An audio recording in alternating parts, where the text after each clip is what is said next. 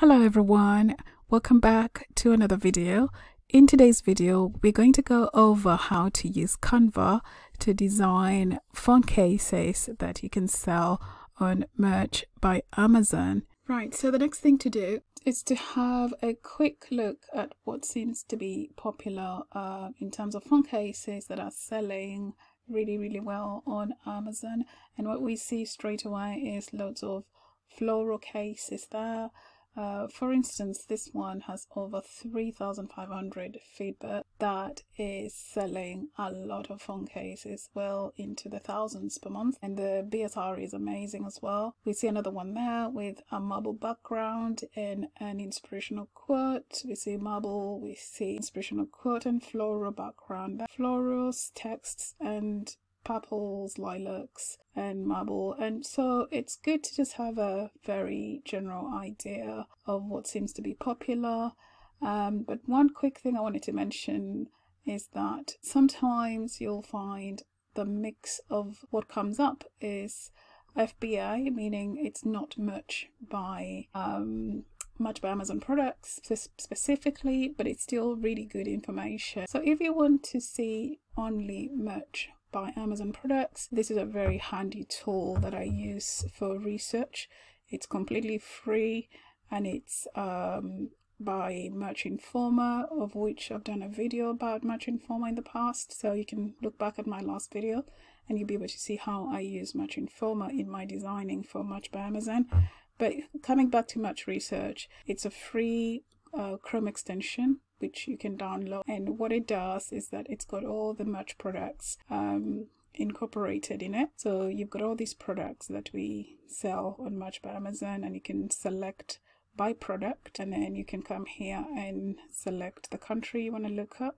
So I normally look at the US marketplace because 90% of my sales come from the US anyway, so I keep it as US and today we're looking at phone cases tool that brings you to a page like this where you notice it's purely a merch by Amazon page. So all these products we're looking at right now, you notice it's no FBA uh, marked products. That means these are all merch by Amazon. So we start to see florals and some text. We see floral, just a canvas covered in flowers. That's wildflowers. We see a Bible verse with a black background. And we see another one there with floral leaves for autumn and all the rest of it. So just a quick look like this, um, round about a few pages, I'd say. Probably don't stop at page one. I'd go to page two to three. It gives you a really good idea of what customers on Merch by Amazon are looking for. So when it comes to designing, you're not just doing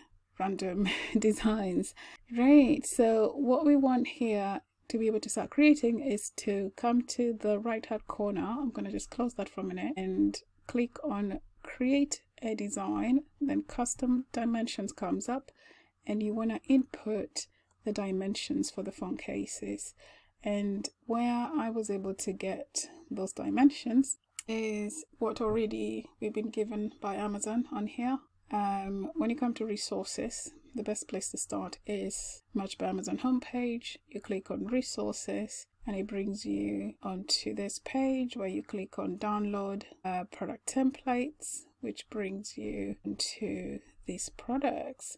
So here you're able to see and download all the artwork dimensions. So we're going to scroll all the way down here to the phone cases because that's what we're interested in today. And this is where I was able to get my dimensions for designing today. So it brings us on to a brand new canvas where we can now get started creating our phone case today. The next thing to do is to add a background. I will be using this uh, floral design here and I'm going to use this handy little tool here to turn it into a portrait because it matches the shape of a phone case other than using the landscape. I like to bring it to the left hand corner there so then I can stretch it out to fit onto the canvas and then I want to center it. Now Canva is amazing. It does give us some guidelines on centering our designs and things like that. And you can see the intersection of the horizontal and the vertical line means that is actually centered. So we want to add a few elements in there. And when we're looking at what's popular on Amazon, we noticed that uh, floral designs are very popular. Um, cases with quotes, say inspirational quotes and all of that are really popular. And what I'm going to do is just come back onto elements and type in quotes just to see what Canva has for us. But just to mention, this is not um, the exhaustive place to find your graphics. Um, I'd actually discourage us from using graphics and the vectors and elements provided by Canva entirely for all your designs because then it means everybody else who is accessing the same will have similar designs and that will not uh, help you to stand out in the market. So I am only using this for demonstrating this particular design. It's not a place I'd come to for my artwork to be honest and I'll do another video just to give you guidelines on where I get my very unique artwork and how I combine them with all different elements and vectors to make it unique to myself. So I'm going to just look for a um, inspirational quote that could go with floral border here. And I'm just going to go for good vibes. And again, this is not something I'm taking forever to think through. This is just to demonstrate how you can combine all different elements um, a graphic and a background to make a really unique design. So that kind of looks alright, but it's not complete yet. There's too much um, white space around here. I could play around with this a little bit more just to show you how to use Canva for all different things. I'm going to just play around with more of the elements here. Um, let's see, we could probably just to make it very unique to ourselves, just in case someone else decides to come and use Canva for a similar design, we could stand out by adding a few bits and bobs. Um, you could change that to something different. And notice that when I point onto the elements, it does actually tell you what's free and what's pro. So for example, actually, I'm going to use a free one just so you know that uh, there's a lot of freebies on this that you can actually use. Um, the next thing I'm going to do, cross niching is important and sunflowers are a niche in themselves. They're very popular with a lot of people. Let's see what we could actually add. How about we just add this beautiful sunflower in there some just to make this a bit of a fun design. Could do that. Let's try putting this in the background because there's a way to play with this. You come here and we position this to the back of that design. Doesn't look amazing so I'm gonna come back here and undo it. And that could still work. It's a playful way of having a sunflower on the text. I mean, that's not excellent. I've not spent much time on it. I'm just kind of showing you how to play with the different elements. Something else I wanted to show you before we proceed is you can group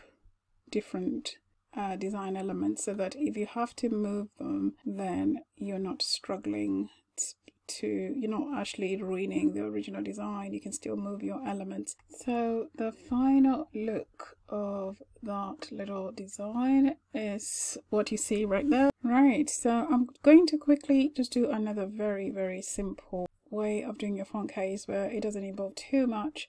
It's just really a fancy background and can find one that I recently used. Um, as you can see, there's all these different backgrounds that Canva gives us. I want to search under nature and see what comes up. Quite like using those. And this, according to Canva's designers, is white clouds and blue sky. Brilliant with some blues and lilacs and you know highlights of pink just like we saw that's very very popular Right, so um, I have already found a good quote that I can add onto this uh, to complete my design. Uh, we found on Amazon that um, having a background with lilacs and pinks and purples and all of that, that's a really popular background. And an inspirational quote to go with it. Um, which matches some of the background colors is amazing so I will center that and if you remember uh, just a short while ago we did say um, Canva is amazing at helping us to center our design so that's centered uh, following those guidelines of the pink lines the centered design would go very well with an iPhone just because of the where the cameras are located on iPhones. But if I was designing this for Samsung uh, from past experience, um, I would bring this a tad lower just because there isn't that much canvas here to work with. The cameras on Samsung tend to be a little bit lower and this is what I'm talking about. So the cameras are a little bit lower compared to um, iPhones. So the center design is fine for an iPhone but with a Samsung it will be a little bit way up here and it will leave too much canvas room here which will be uh, it won't look right uh, just to show you the finished artwork that's the look of the finished design and I do like to click on the different uh, phone preview the models just to kind of see how that comes up. And that to me looks just fine. So this is on a samsung and if you look at the previews on the different models i think we're good to go. And then obviously you set your pricing and you are good to go i normally zoom that in just so i can be able to preview but i'm gonna put it back on to 125 so yeah that's a finished work and i hope you enjoyed this video and I would really appreciate if you could like and subscribe and I will see you in the next video. Bye now.